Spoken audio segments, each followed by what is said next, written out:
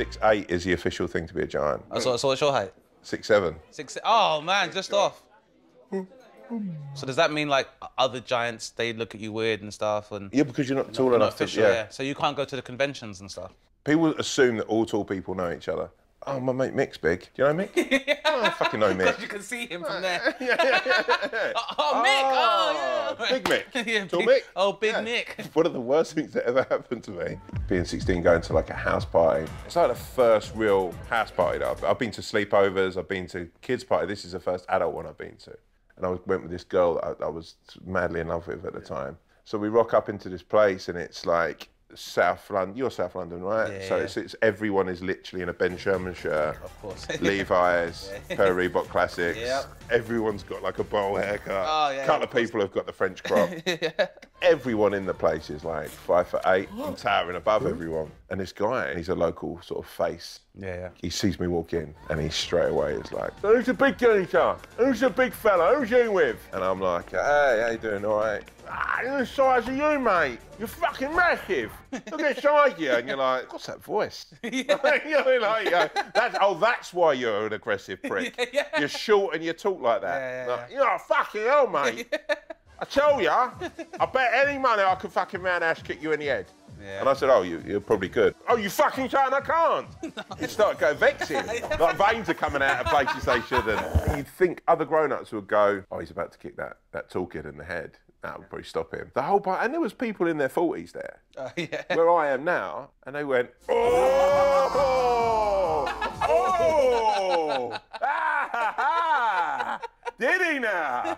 Did he? And the whole place is now gathering around. It's become a spectacle. A ring's been made. And I'm standing in the middle of it going, I've not even had a beer yet. Yeah. My first beer. yeah, can let me have a drink? And, then, Yeah. and he's going, challenging me, he's challenging me.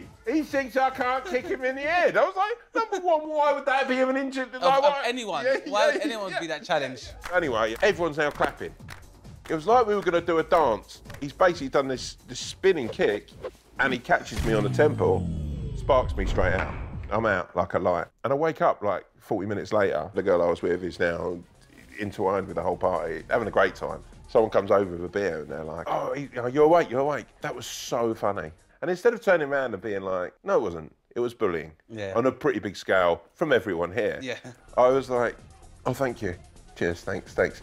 No one referenced the fact that I'd been knocked out and a grown man booted a kid in the head. Yeah. I, I swear this is because I was tall.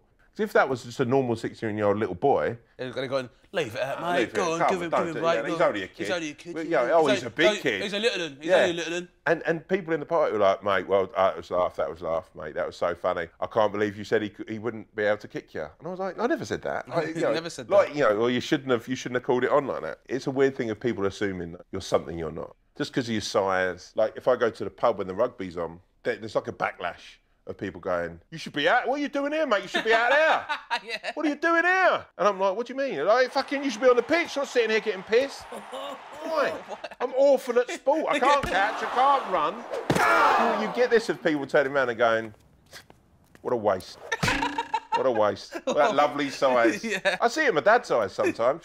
How tall? How tall's your dad? He must be 6'4". He's always been obsessed with horse racing.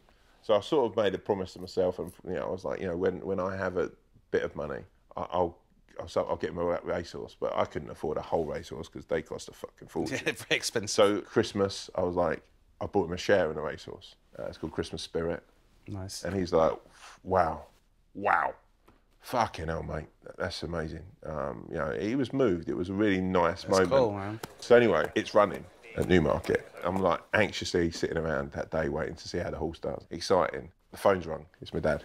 Oh, answer the phone, and he's like, "What kind of fucking horse have you brought me here?" I went, "What?" He went, "Is it a fucking practical joke you've had? Is it a joke? Tell me now." And I went, "What do you mean? What's up?" He said, "The fucking thing's in the fucking stalls. It won't get out. It's had a breakdown. It's had a nervous breakdown in the stalls." It's, it's held up the whole racing. The whole day's racing's been ruined. Christmas spirit. I knew something was going to be wrong with this thing as soon as you brought it for me. I said, oh, gee. He said, everyone else has turned their back. I'm here now. with- I'm, I'm here with him now, Christmas spirit. Starts calling him Chris. I'm here with Chris now. He's still in the stalls. I've got to pay five grand for a fucking horse whisperer. Let me get you out of All those years, I'm looking after you. You're a hindrance to me. I finally get you doing all right out of life. You buy me a horse. Now I'm paying for a horse who can't run, who's had a nervous breakdown. Because he and because he, feels so much empathy with this horse and he loves the horse. Yeah. The horse is now in a field. He's paying still. He's the only one who's still paying for it. Oh, Well, really? yeah, he's still paying for his food and his upkeep. He's like it's like having a kid who'll never grow up. it was uh, like it went from being the best Christmas gift you could ever get someone to being the worst. I, I feel like tall people should be able to be jockeys. Maybe that's the way it becomes Paralympic then. And like, only if you're six, six Oh, foot wow, six and over, then yeah. you get to ride in giant Yeah. horses. Or like hippos. Yeah. Like giants Because- racing because I hippos. can tell you now. I can tell you now that when you, uh, as a big man, as soon as you make your way to a horse, you can see the horse going, you gotta be "Oh fuck off! No way! You're fucking joking, ain't you? Him on my back. You having a, you know, how far are we going?" I went on a, a horse for uh, like uh, one of those trials uh, where you where, where you're going through the Yeah, yeah. America uh, on the back of a horse, and you could literally so you know you could just feel that he was going to get back into the stables, turning to the other horses, and I'm going, "Oh, that was a long walk. Long walk. Yeah, just a- long walk." Okay.